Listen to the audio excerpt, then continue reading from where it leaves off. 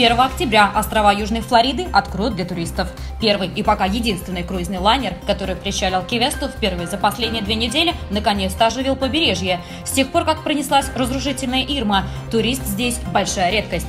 С последствиями урагана, который снес до основания четвертую часть всех строений, здесь будут бороться еще долго. Восстанавливать придется не только дома, но и рухнувшую экономику. Один из самых популярных туристических районов Флориды ежегодно приносил солнечному штату больше 2,5 миллиардов долларов. Но теперь туристические доходы на дне.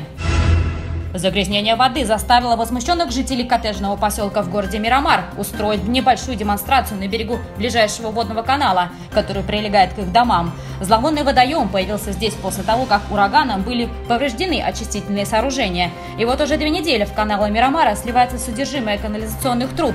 На прошлой неделе местные жители получили листовки. Якобы с санитарными пробами воды проблем нет. Но тех, кто здесь живет, не обманешь. Запах чувствуется за несколько километров вокруг.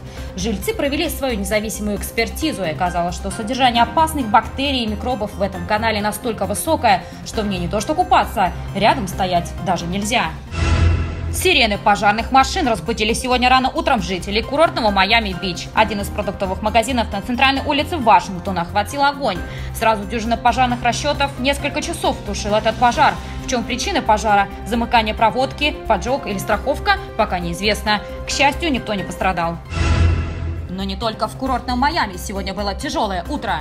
Перестрелка на юге Майами возле школы Коралл Риф. Пока дети еще только собирались на уроке, возле их школы кто-то пытался застрелить молодую пару в машине, Елену и Рамонда.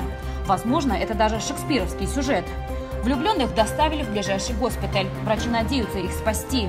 Усиленные отряды полиции оцепили школу. Возможно, полицейские решили, что стрелявший скрылся где-то в классах. Но оцепление через несколько часов сняли. Стрелявшего не нашли. Можно предположить, что преступник, как это часто бывает, плохо учился в школе. и В ее сторону вряд ли бы побежал. Чуть позже полиция начала спецоперацию в соседнем квартале. Арестовали другую пару, у которых влюбленные снимали жилье. Пока, как в настоящем латиноамериканском сериале, все запутано и до сих пор непонятно, кто и почему стрелял. С воздушным сообщением в Пуэрто-Рико большие проблемы. Недавно здесь прогулялась Мария, разрушительный ураган.